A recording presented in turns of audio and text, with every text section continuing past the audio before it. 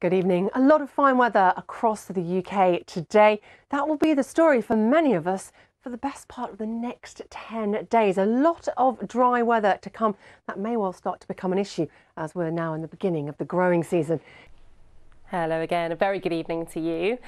Well, sparkling springtime sunshine for Saturday and actually looking forward, staying dry, settled and fairly quiet into the new working week. That does bring us plenty more brightness by day, but also some pretty nippy nights for the time being. By and large, it's a dry, fine, settled day yet again. Generally light winds, a little fair weather cloud, but no great shakes, and generous temperatures 15, 16 degrees. All of this does give us the perfect setup, though, for pollen this time of year. So we're looking at high levels. Hay fever sufferers, beware with brightness next week.